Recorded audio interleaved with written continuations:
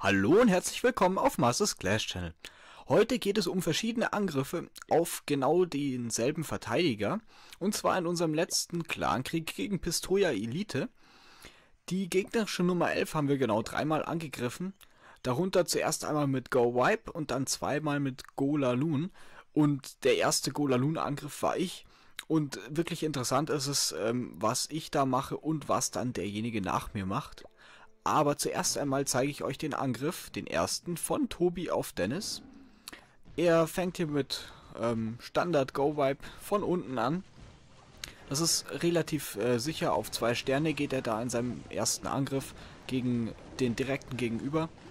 Und er fängt eigentlich von unten an mit Magiern zu cleanen, geht mit den drei Golems von unten rein, die leider alle relativ auf einem Haufen gelaufen sind aber das macht kaum da, wenn sie jetzt in die Mitte laufen, dann gehen sie auseinander. Dadurch den Sprung laufen sie rein, Pekka und King und Queen hinterher und ein Wutzauber, um sie alle zu beschleunigen und auch noch ein Heilzauber drauf und da kommt jetzt die gegnerische Clanburg raus.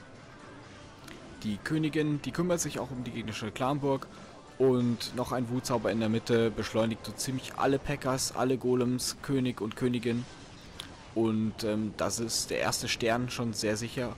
Und der zweite Stern dürfte dann auch relativ bald fallen. Jetzt sind zwar alle relativ hier in dieser Mitte drin, aber da kämpfen sie sich jetzt raus. Auch die Riesenbomben machen da den Golems natürlich nichts. Und die Königin cleant an der Seite noch weiter, da sie außer Reichweite ist von den gegnerischen Verteidigungen. Jetzt sind wir schon bei 47%. Da fallen dann gleich die 50 Jetzt sind wir bei, ja, jetzt haben wir genau die zwei Sterne, also sehr sicherer Angriff auf zwei Sterne von Tobi da. Ähm, was eigentlich meistens der Fall ist, da man wir beim ersten Angriff immer eher auf sichere zwei Sterne gehen und der zweite Angriff ist dann auf drei Sterne, auf einen, den man auch definitiv drei Sternen kann. Und jetzt lässt er den Angriff noch auslaufen, schaut noch, dass er möglichst viele ähm, Prozente noch mitbekommt. Ähm, 60% haben wir gerade. Links außen wird noch gecleant, der König ist noch da. Und jetzt ist die Königin gefallen. Und auch die paar letzten Magier und der König werden jetzt noch unter Beschuss genommen. Und sind jetzt auch gleich Geschichte. Genau, das war der erste Angriff auf die gegnerische Nummer 11. Jetzt war so mein Gedanke, hey, den kann man doch super mit Gola machen. Ja, kann man aber äh, eher nicht so, wie ich das gemacht habe. Ihr seht schon, äh, ich habe äh, 47% geschafft und warum genau, das sehen wir jetzt gleich. Also mein Ansatz war eigentlich, mit zwei Golems von links rein zu der linken Luftabwehr. Da sollte, da wo der Sprung war, da sollten eigentlich die Golems rüberlaufen, aber ich habe den zweiten Golem schon etwas zu weit rechts gesetzt. Das heißt, er läuft nach unten. Da, da geht eigentlich schon mal alles schief. Die Magier cleanen eigentlich rechts ganz schön. Der König dürfte dann auch gleich reinlaufen. Und da kommt die Königin und diese eine ähm, Bauarbeiterhütte veranlasst sie dazu, nach rechts zu ziehen. Die gegnerische Clanburg kommt raus und nur ein Golem ist links und mein König ist links. Und die Magier stehen alle noch außen und werden gerade von der Kanone außen unter Beschuss genommen. Heißt, die Luftabwehr steht noch und die gegnerische Clanburg ist draußen mein Golem ist futsch, mein King ist futsch und die einzige, die noch steht, ist meine Königin rechts, die aber auch unter ständigem Beschuss steht. Heißt, es ist am Anfang schon mal alles schief gelaufen. Die gegnerische Clanburg ist nicht down und die Luftabwehr steht auch noch. Und jetzt ist noch ein verzweifelter Versuch von mir, diesen einen Drachen noch zu besiegen. Der Magier ignoriert ihn natürlich einfach. Ich versuche ihn noch irgendwie nach unten zu ziehen. Weil wenn ich da jetzt mit meinen Lufttruppen reingehe, dann ähm, stört mich der Drache natürlich immens und da komme ich nicht weit. Jetzt versuche ich noch mit einem Barbar abzulenken und ich habe noch einen Lucky, aber der kann leider auch nicht mehr viel ausrichten und der Drache überlebt mit ungefähr null Lebenspunkten. Und jetzt bin ich am überlegen, eigentlich war mir jetzt in diesem Moment schon klar, das kann nichts mehr werden. Aber ich versuche es dann natürlich trotzdem noch wenigstens einen Stern zu holen. Da kommen meine Hunde von oben, relativ platzierte Loons. Die Loons ganz rechts außen und die ganz links außen waren vielleicht etwas voreilig gesetzt, da sie da keinen Schutz hatten.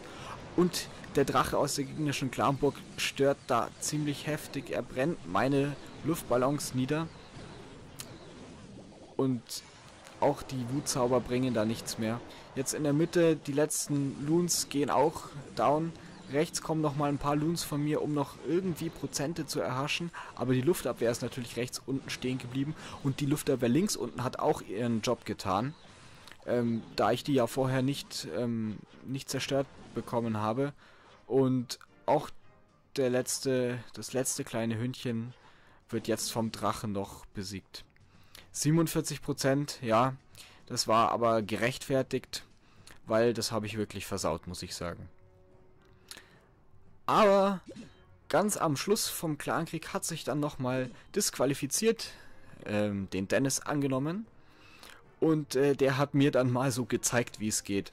Jetzt schauen wir mal, er hat schon mal einen besseren Ansatz gefunden, wo denn der Golem nicht äh, davonlaufen kann. Er setzt den Sprung schon anders. Sehr, sehr schlau hier. Die zwei Golems kommen da rein. Mit relativ vielen Magiern macht er das. Die oben sind alle sicher, weil da keine Verteidigung steht. Und jetzt ist oben auch gecleant und König und Königin gehen super rein.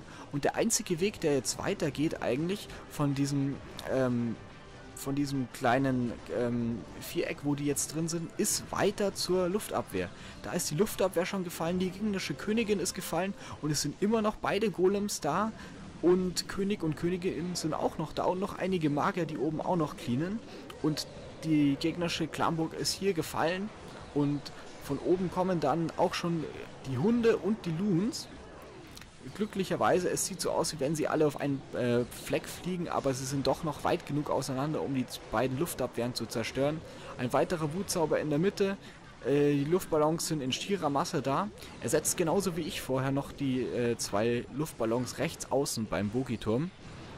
Und auch wenn die gegnerische Luftabwehr noch etwas länger stehen bleibt, es sind einfach noch so viele Luftballons da, die ähm, die gegnerischen Verteidigungen überwältigen. Das Rathaus ist schon allein durch den Schaden von den Ballons gefallen.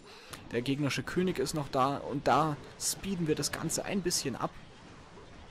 Und es ist nur noch Aufräumarbeit. Heißt, sein Ansatz war einfach besser und er hat das auch dann ähm, einfach besser ausgeführt. Also ich hatte wirklich Pech, dass mir der Golem da abgehauen ist und die Queen dann auch noch abgehauen ist. Aber da hätte ich vielleicht auch von Anfang an dran denken können. Ich hoffe, euch hat mein kleines Video zu verschiedenen Angriffen auf diesen einen Gegner wieder mal gefallen. Und ich würde mich natürlich freuen, wenn ihr kommentiert, liked, ähm, mir folgt und das nächste Mal wieder mal einschaltet bei mir auf Mases Clash Channel. Bis dahin, ciao, ciao.